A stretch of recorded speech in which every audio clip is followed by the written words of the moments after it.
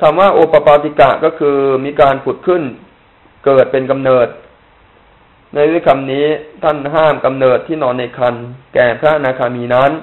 คำว่าปรินิพานในโลกที่อุบัติขึ้น ก็คือปรินิพานในสุทธวาสนั้นคำว่ามีอันไม่กลับจากโลกนั้นเป็นธรรมดา คือมีอันไม่กลับจากโลกนั้นมาในโลกนี้เป็นสภาพด้วยหน้าการถือปฏิสนธิแต่การมาเพื่อประโยชน์แก่การเฝ้าพระพุทธเจ้าและฟังธรรม ย่อมมีอยู่ทีเดียวฮะอันนี้จะได้ไม่เข้าใจผิดนะท่านก็แสดงไว้ให้ไม่เหมือนกับพระโกกาลิกะที่เข้าใจผิดว่าไม่มาโดยอัตภาพคำว่าเพื่อละรูปราคะอรูปราคะ มานะอุตจักและอวิชามิให้เหลือ ความว่าเพื่อประโยชน์แก่การละอุทธรรมภาคิยะสังโยชน์ห้าเหล่านี้ไม่ให้มีเหลือ ในบรรดาอุทธรรมภาคิยะสังโยชน์ห้านั้น ฉันทราคะในรูปภพชื่อว่ารูปราคะ ฉันทราคะในอรูปภพชื่อว่าอารูปราคะ มานะก็ได้แก่มานะที่อรัตมัตพึงประหาร อุตจักและวิชาก็เช่นเดียวกันนะคำว่าพระมหากีนาศพนี้ เป็นคำบูชาที่เนื่องด้วยความเป็นผู้มีอนุภาพมากไม่ใช่เป็นคำเทียบเคียง เหมือนอย่างคำว่ามหาโมคคลานะมหาโมคคลานะนี่หมายถึง มีโมคคลานะหลายองค์ ก็เลยเทียบเคียงกันก็องค์นี้แหละใหญ่ที่สุดนะแต่ว่า คำว่ามหาขีนาศพนี่โดยคุณนะ มีอนุภาพมากนะไม่ใช่ไปเทียบเคียงกับคนอื่น เพราะพระอริยบุคคลชื่อว่าจูลขีนาศพมีอยู่ก็หาไม่ได้ ไม่มีจุลขีนาศพนาขีนาศพเล็กไม่มีนะ มีแต่มหาขีนาศพชื่อว่าทรงไว้เสื้อร่างกายอันสุดท้าย เพราะความหมายว่าทรงไว้เสื้อร่างกายมีในที่สุด ชื่อว่ามีภาระอันปรงแล้ว เพราะปรงแล้วคือเพราะวางแล้วซึ่งภาระคือขันธกิเลสและอภิสังขารขันด้วยกิเลสด้วย แล้วก็กรรมก็คือพิสังขารด้วยนะ มีภาระก็คือวางได้หมดพวกมารทั้งหลาย ชื่อว่ามีประโยชน์อันได้บรรลุแล้วโดยลำดับ เพราะความหมายว่าบรรลุโดยลำดับซึ่งสดัตถะคือสกัดถะ แปลว่าประโยชน์ของตนนะนะสดัตถะในประโยชน์ตนสูงสุดก็หมายถึงอรหัตผลนั่นแหละ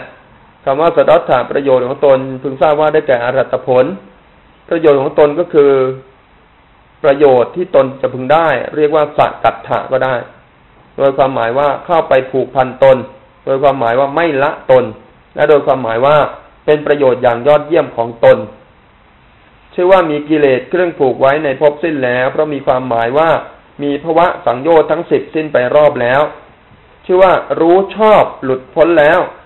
ก็มีความหมายว่ารู้โดยชอบซึ่งอัดว่ากองเป็นต้นนะก็คือรู้จักขันธาตุอายตนะ สัจจะอินทรีย์ต่าง ๆ เหล่านี้ได้อย่างดีแล้วนะแห่งธรรมทั้งหลายนี้ขันเป็นต้น หลุดพ้นไป ชื่อว่าเป็นพระทักขินยะอันเลิศหมายถึง นี่ก็หมายว่าท่านเป็นพระทักขินยะเลิศคือ ราะมีความหมายว่าควรซึ่งทักษินาอันเลิศนะควรกับของที่ควรกับการทำบุญนะอย่างสูงสุดเลย อนุภาพแห่งมรรคยานนะบัดนี้เพื่อทราบชัด ซึ่งอนุภาพแห่งยานสี่อันชื่อว่าญาณทัศนวิสุทธินี่แหละนะหัวข้อบัณฑิตจึงควรทราบความที่มักมีโพธิปัจจธรรมบริบูรณ์ ควรทราบวุฒานะก็คือ ความออกจากนิมิตและประวัตตะ และพละสมาโยกความประกอบเสมอกัน แห่งสมถะพละและวิปัสนาพละ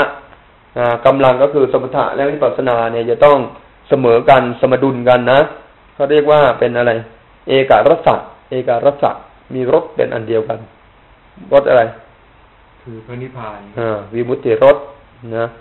ควรทราบการละธรรมทั้งหลายที่ยานไรพึงละ กิเลสประเภทไหนยานไหนละได้เนี่ยนะและควรทราบกิจมีปริญญากิจเป็นต้น ที่ท่านกล่าวว่ามีขึ้นในการที่ตัดสู้ตามสภาพทุกประการด้วยแล อันนี้เป็นหัวข้อนะซึ่งท่านก็จะเอามาประมวลกันหลังจากที่บรรลุมรรคแล้วก็ควรจะต้องเข้าใจตัวเหล่านี้ อันแรกก็คือโพธิปักเยธรรม ในข้อเหล่านั้นข้อว่าความที่โพธิปักเยธรรมบริบูรณ์ คือความที่โพธิปักเยธรรมทั้งหลายเต็มเปี่ยม ก็ทำสามสิบเจ็ดนี้คือสติปัฏฐานสี่สัมมปัฏฐานสี่อิทธิบาทสี่อินทรีห้าพละห้าโพชฌงเจ็ดมักมีองค์แปดชื่อว่าโพธิปักขิยะ เหตุเป็นธรรมมีในฝ่ายแห่งอริยมรรคอันได้นามว่าโพธะโพธะนี่เป็นอริยมรรคนะนั้นธรรมะเหล่านี้ทั้งสามเจตประการเนี่ยเป็นฝักฝ่ายแห่งอริยมรรค เพราะอาจว่าเป็นเหตุตัตรู้คำว่าเพราะเพราะมีในฝ่ายเนี่ยนะหมายความว่าเพราะตั้งอยู่ในความเป็นทำอุดหนุนนะปัจจยะเนี่ยก็คือเป็นฝักฝ่าย หมายถึงอุดหนุนทำให้อริยมรรคนั้นทำกิจในการตัดรู้ปัญนากระถามว่าด้วยโพธิปัจจยะ ชื่อว่ามียานสี่อันอำนาจมรรคยานทั้งสี่ คำว่าเพื่อทราบชัด ซึ่งอนุภาพก็คือเพื่อให้รู้อนุภาพมีความบริบูรณ์แห่งสติปัฏฐานเป็นต้น โพธิปัจเยธรรมทั้งหลายของธรรมนี้บริบูรณ์เหตุนั้นธรรมะนี้ชื่อว่ามีโพธิปัจเยธรรมบริบูรณ์ก็ได้แก่มรรคภาวะแห่งมรรคอันโพธิปัจเยธรรมบริบูรณ์นั้น ชื่อว่าความมีโพธิปัจเยธรรมบริบูรณ์ ความเป็นธรรมอันประกอบด้วยวุฒานะและพละชื่อว่าวุฒานะพละสมาโยกก็คือความออกแล้วก็การประกอบด้วยสมถะพละวิปัสนาพละธรรมเหล่าใดคือธรรมทั้งหลายมีสังโยชน์เป็นต้นอัญญาณใด คืออันปฐมมรรคยานเป็นต้นพึงละ อีกอย่างหนึ่งความเกิดขึ้นแห่งมรรคจิต ชื่อว่าโพธะเพราะความหมายว่าเป็นเครื่องตัดสู้ธรรมทั้งหลายมีในฝ่ายความเกิดขึ้น แห่งมรรคจิตนั้น เพราะเป็นคุณอันสมควรแก่การตัดสู้ เหตุนั้นทำเหล่านั้นจึงชื่อว่าโพธิปักขิยะ หมายถึงว่าเป็นฝักฝ่ายของการตัดสู้ก็คือมรรคเตสุนั้นโยกโพธิปักขิเยสุในโพธิปักขิยธรรมเหล่านั้นคำว่าในอารมณ์ทั้งหลายได้แก่อารมณ์มีกามเป็นต้นบทว่าโอกันนิตวาแปลว่าเข้าไป ปักขิตวาคำว่า เพราะเข้าไปตั้งอยู่คือเพราะ เข้าไปตั้งลงเนื้อหน้าถือเอาโดยอาการไม่งาม อันนี้เป็นอัดของสติปัฏฐานนะ อัดของสติปัฏฐาน ในโพธิปัจจธรรมเหล่านั้น ตามชื่อว่าปัฏฐาน เพราะว่าแล่นเข้าไปตั้งอยู่ในอารมณ์ทั้งหลายมีกายเป็นต้นปัฏฐานก็คือสตินั่นเอง จึงชื่อว่าสติปัฏฐาน ก็สตินั้นแยกออกเป็นสี่ประการ เพราะเป็นไปโดยถือเอาอาสุภาการ อาการว่าไม่เที่ยงนะ ทุกขาการอาการว่าเป็นทุกข์ อนิจจาการอาการว่าไม่เที่ยง อสุภาการอาการว่าไม่งามอาการไม่งาม อาการไม่เที่ยง อาการเป็นทุกข์แล้วก็อนัตตาการอาการเป็นอนัตตา อันนี้ก็ไม่เรียกว่าอนิจจังทุกขานัตตาเพราะอนิจจังทุกขานัตตาเป็นชื่อของขันธ์ห้านะเรียกว่าอนิจจาการทุกขาการนัตตาการ เพราะว่าเป็นลักษณะ ลักษณะก็คืออาการนั่นเองในกายเวทนาจิตธรรม และโดยยังเกตคือการละสุภาษสัญญา ความสำคัญว่างาม สุขสัญญา ความสำคัญว่าเป็นสุขนิจจสัญญา ความสำคัญว่า เที่ยงอัตตาสัญญาความสำคัญว่าเป็นอัตตาในกายเวทนาจิตธรรมนั้นให้สำเร็จจึงแยกออกเป็นสี่ประการ เพราะฉะนั้นท่านจึงกล่าวว่าสติปัฏฐานสี่พิจารณาเห็นกายในกายก็ละอะไร ละวิปลาสอะไรอ๋อละสุภาวิปลาสสุภาวิปลาสถ้าพิจารณาเห็นเวทนาในเวทนาก็ละ สุขะสุขะวิปลาสพิจารณาเห็นจิตในจิตก็ละอันนิจจะสันอันนิจจะวิปลาสนิจจะนิจจะนิจจะวิปลาสถ้าพิจารณาเห็นธรรมในธรรมก็ละอัตตะอัตตะวิปลาสนะเพราะฉะนั้นเจริญสติปัฏฐานสี่ก็เพื่อที่จะละวิปลาสสี่แต่ไม่ใช่เฉพาะละวิปลาสสี่เท่านั้นก็ละโอคะสี่โยคะสี่อาสวะสี่คันธะสี่อุปาทานสี่ไอ้ที่สี่สี่นี่สติปัฏฐานก็ละได้หมดนะแต่ไม่ใช่ละได้เพราะสี่นะ นิวรณ์ห้าไม่เฉตตาอกุตรธรรมอะไรต่างๆนี่ละได้หมดแล้วคำว่าเข้าไปตั้งอยู่นี่นะสติปัฏฐานเข้าไปตั้งอยู่คือ เพราะเข้าไปตั้งด้วยอำนาจถือเอาโดยอาการไม่งามเป็นต้น การถือเอาอาการไม่งามเป็นต้นในอารมณ์มีกายเป็นต้นเพิ่งทราบเกี่ยวกับเป็นสติปัฏฐานที่เป็นบุปภาคหมายถึงว่าเป็นเบื้องต้นเป็นโลกิยะ การยังกิจคือการละสุภาสัญญาเป็นต้นเพิ่งทราบเกี่ยวกับสติปัฏฐานที่เป็นมรรคก็คือเป็นโลกุตระนะ ตอนที่ละได้นะจริง ๆ เนี่ยเป็นมรรคแต่ตอนที่ถือเอาโดยอาการไม่งามเนี่ยนะกำลังสั่งสมสัญญาที่ถูกต้องอยู่นะเพราะปกติเราก็ใส่ใจโดยเป็นสุภาพสัญญาอยู่ แต่พอเริ่มเจริญสติฐานแม้กระทั่งการมนสการโดยการที่อาการสามที่สองเนี่ยผมก็ได้ฝันหนังเนี่ยนะตอนนั้นก็เป็นการเริ่มสั่งสมข้อมูลเอาไว้เพื่อจะได้ละได้ในที่สุดนะ สั่งสมสัญญาที่ถูกต้องเป็นอสุภสัญญานี่แหละก็ในสติปัฏฐานนั้นสติอย่างเดียวนั่นแหละ ย่อมเป็นไปด้วยอำนาจยังกิจตีอย่างให้สำเร็จ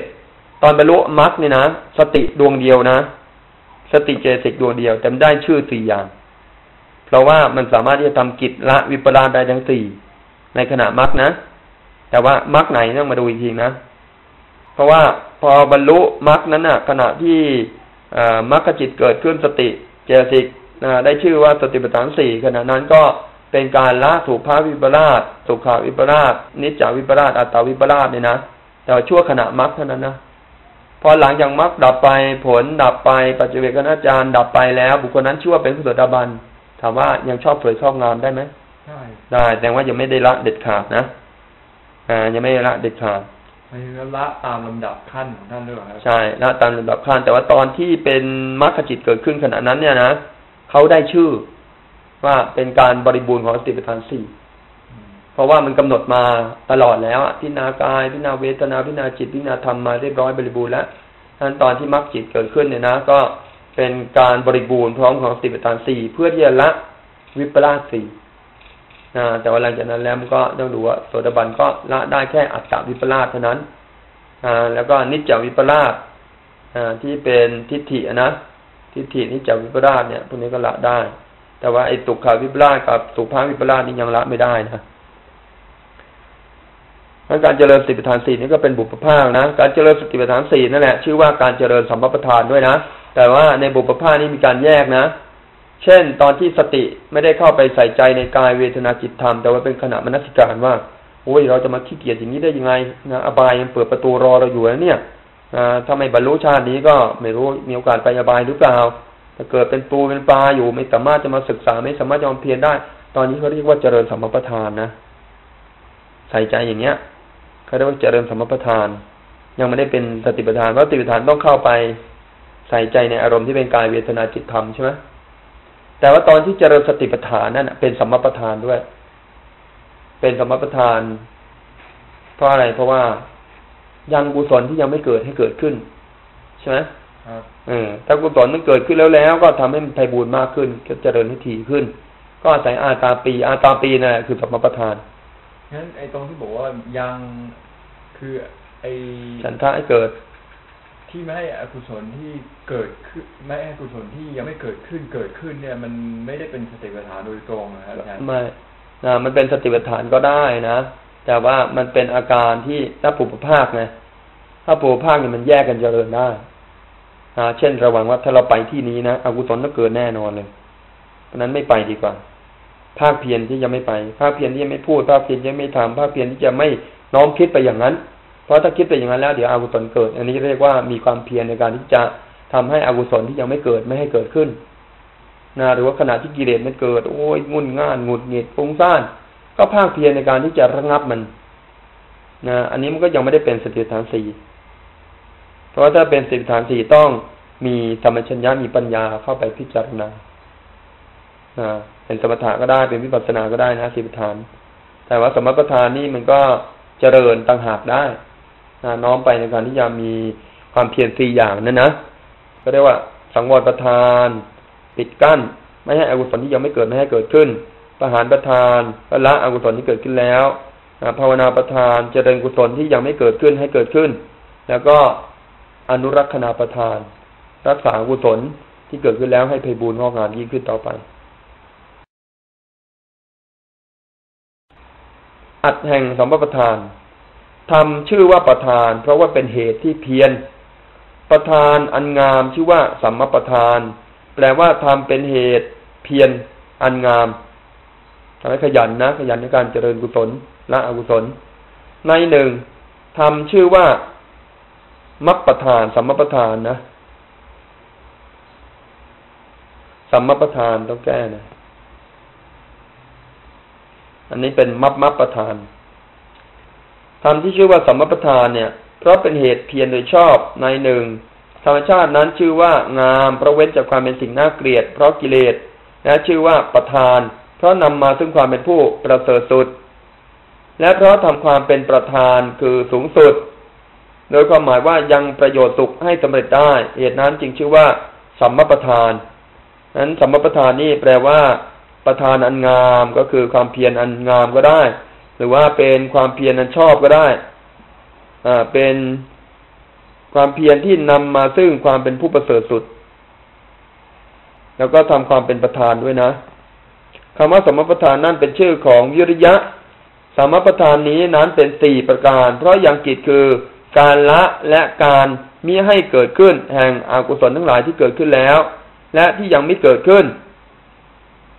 ยังไม่ได้เกิดขึ้น และยังกิจ คือให้เกิดขึ้น และตั้งอยู่ไม่ให้เสื่อมไปแห่งกุศลทั้งหลายที่ยังมีได้เกิดและเกิดแล้วให้สำเร็จ เหตุนั้นท่านยังกล่าวว่าสมประธานสี่งั้นถ้าสมประธานสี่นี้แบ่งออกเป็นสองก็ได้นะ ก็คืออันหนึ่งเพียรละอกุศล แล้วก็อันหนึ่งก็เพียรเจริญกุศลนะแต่กุศลที่ยังไม่เกิดขึ้น ก็ต้องพยายามละไม่ให้มันเกิดนะนะหมายถึงว่าป้องกันเอาไว้นั่นแหละก็เรียกว่าละได้เหมือนกัน ถ้าเกิดขึ้นแล้วก็พยายามที่จะละมันให้หมดไป กุศลที่ยังไม่เกิดก็พยายามเพียรให้เกิดขึ้นอันที่เกิดขึ้นแล้วก็เพียรไม่ให้มันเสื่อมไปนะแล้วก็เป็นการละอกุศลแล้วก็เจริญกุศลนั่นเอง ที่เราสวดใช่ไหมเมื่อเช้ายังฉันท้ายเกิด มีความเพียรประคองจิตไว้ตั้งจิตไว้ เพื่อยังกุศลที่ยังไม่เกิดให้เกิดขึ้น ยังฉันท้เกิดประรบความเพียรประคองจิตไว้ เพื่อทำให้กุศลที่เกิดขึ้นแล้วไปบุญงอกงามต่อไปนะบทว่าปรหติเนี่ยนะหรือว่าปรหันติ แปลว่าย่อมพยายาม หรือความว่าประคองกายและจิตความเพียรนี้มีสองอย่างเลยนะความเพียรทางกายกับความเพียรทางใจนะความเพียรทางกายนี่เพียรยังไง ความเพียรทางกายนะครับก็คงจริงเรื่องของศีลนี่มันก็ต้องเพียรกันหรือเปล่าครับอาจารย์ ทางกายทางวาจาเนี่ย อืม แล้วความเพียรทางกายอะก็ทั้งกายทั้งวาจาก็เรียกว่ากายได้เหมือนกันด้วยครับเออกายก็อะไรครับกายที่คิดได้นะก็กายเรื่องเนี้ยเรื่องศีลอย่างหนึ่งกายวิเวกก็อีกอย่างหนึ่งความเพียรทางกายเนาะไม่ได้แสดงไว้ว่าเขาความเพียรทางกายและทางใจนะเอ่อมีที่เข้าใจเขาบอกว่าเข้าใจว่า ก็คือไม่ปล่อยให้กายมัน มันงุ่นง่าน เช่นทีน้ำมิท้าครอบงำครับนะกายนี้เป็นตัวเจตสิกหรือไงครับ ไม่ไม่ไม่ถึงร่างกายเนี่ยไม่ใช่ร่างกาย ก็คือเป็นผู้ที่ไม่นั่งไม่แช่ ไม่อืดอาดนะ มีการขยับขยื่นเคลื่อนไหวนะประคับประคอง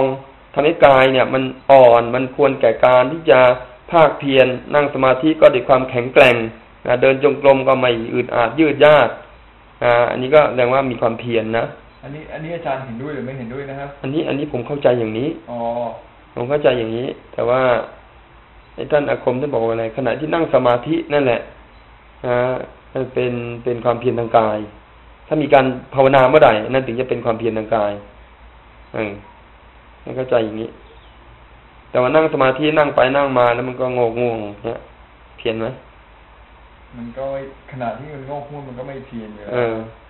นั้นความเพียรทางใจก็คือน้อมไปให้กุศลและจิตเกิดอะเพราะความเพียรทางกายก็ควรจะต้องให้กายเนี่ยเป็นไปนะด้วยกุศล ให้กายนี้เป็นไปด้วยกุศลถือว่าสามารถที่จะทำให้กุศลเกิดขึ้นในการที่จะผัดเปลี่ยนอิริบทนั้นเพราะว่าถ้าเกิดนั่งมากๆแล้วอกุศลเกิดก็ต้องไปเดินใช่ไหมถ้าเดินมากๆแล้วอกุศลเกิดก็ต้องมานั่งแล้วก็ผัดเปลี่ยนกัน นั้นกายนี้ก็มีส่วนสำคัญนะ เพราะว่าอิริบทนิสปายะนี้ภาวนาก็ไม่เจริญเหมือนกัน อ่า แต่ว่ายังไม่เห็นคำอธิบายตรงๆนะเอ๊รู้สึกว่าเคย เคยผ่านนะนะเคยผ่านกาแฟคาที่ไหนก็ไม่รู้ประกอบความเพียรกาย เพราะว่าบางคนก็เกียรคร้านนะนะเกียรคร้านนะไม่ยอมขณะยื่นเคลื่อนไหวอะไรต่างต่อไป ที่ชื่อว่างามนะสมปทานเนี่ยนะ ความเพียรอันงามเนี่ยชื่อว่างาม เพราะว่าละได้ซึ่งสังกิเลสทำทั้งหลาย อันเป็นเหตุแห่งความไม่งาม และเพราะยังโวทานทำหมายถึงตามที่แจ่มใสเนี่ยนะผ่องใสทั้งหลาย อันเป็นเหตุแห่งความงามให้เกิดนั่นเอง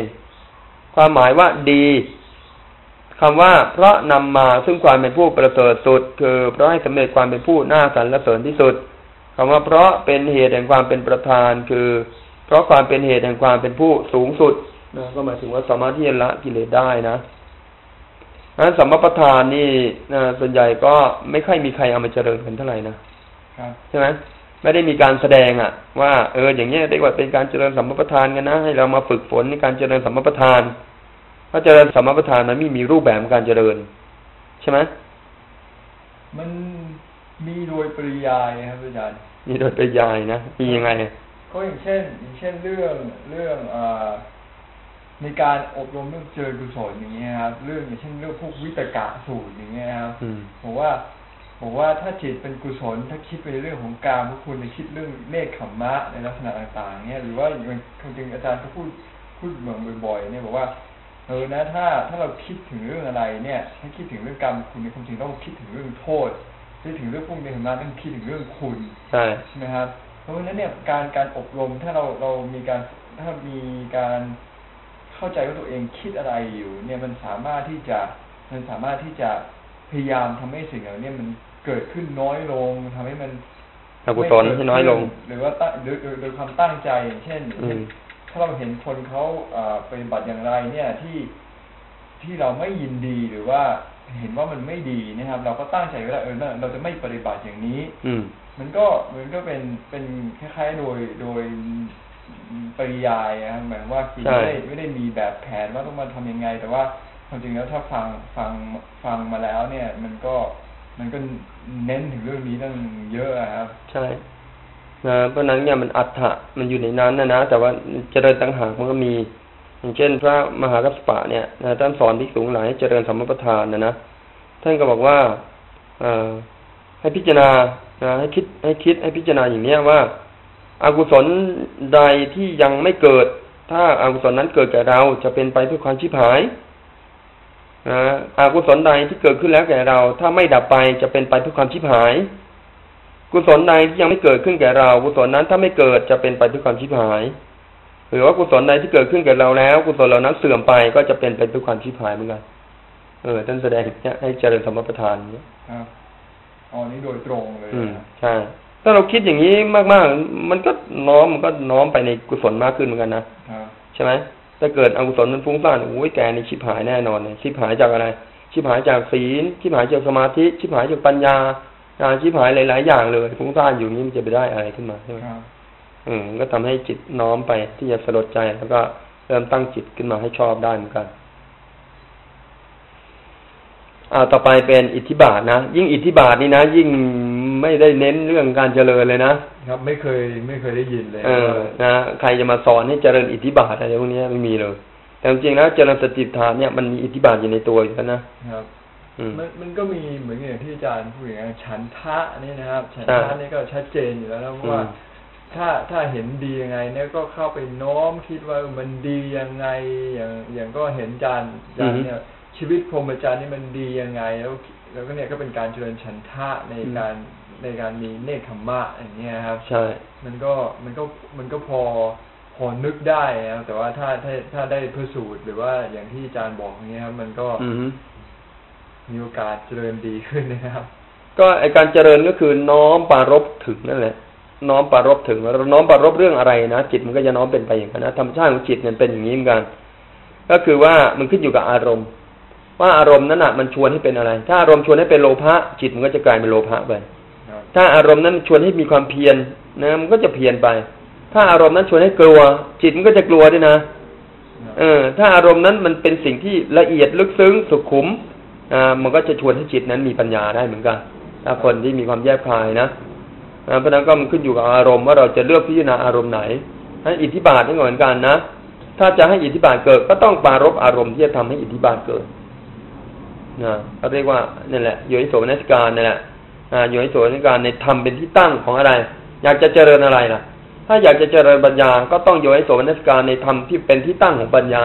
ครับพวกขันธ์ธาตุยตนะหลัจจาอินทรีย์ต่างๆ ถ้าจะเจริญสมาธิก็ต้องโยนิโสมนัสการในพวกฌานวิโมกข์ สมาธิสมบัติ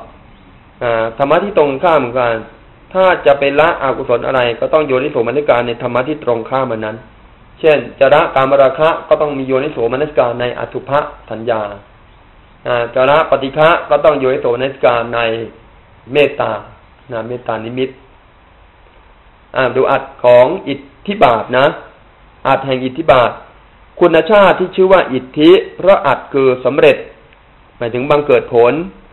ซึ่งกล่าวแล้วในการก่อนก็คือในอิทธิวิตานิเทศนะนะก็แสดงไปแล้ว แต่ว่าเรายังไม่ได้เรียนนะนะทำใดเป็นบาทแห่งอิทธิโดยอัดก็คือเป็นหัวหน้า คือเป็นอธิบดีแห่งสัมยุตธรรมของอิทธินั้น และโดยอัดก็คือเป็นเหตุส่วนเบื้องต้นแห่งอิทธิที่เป็นผล เหตุนี้ธรรมนั้นจึงชื่อว่าอิทธิบาท อิทธิบาทนั้นมีวิภาคเป็นสี่ด้วยหน้าของธรรมที่เป็นบาทนะ มีฉันท่าเป็นต้นคือฉันท่าวิริยะจิตตายิมังสานั่นแหละ เหตุนั้นท่านจึงกล่าวว่า อิทธิบาทสี่ดังบาลีว่าจัตตาโรอิทธิปาดาฉันทิทิ ปาโดวิริยิทธิ ปาโดจิตติทิ ปาโดวีมังสิทธิ ปาโด อิทธิบาทสี่ก็คือ ฉันทิฏฐิบาท วิริยทิบาท จิตติทิบาท แล้วก็วิมังสิทธิบาท ทำมีฉันท่าเป็นต้นทำที่กล่าวมา เหล่านี้เป็นโลกุตระแท้ ส่วนที่เป็นโลกิยะ แม้เป็นธรรม เช่นภาษะที่ได้ด้วยอำนาจฉันทาธิปติ เป็นต้นก็นับเป็นอิทธิบาท โดยบาลีว่า หากพิจุทำฉันทะให้เป็นอธิบดีได้สมาธิ ได้ความที่จิตมีอารมณ์เป็นหนึ่งไซก็เรียกว่าฉันทะสมาธิดังนี้เป็นต้นนะ เพราะฉะนั้นเนี่ย อิทธิบาทเนี่ยเขาเน้นสมาธินะ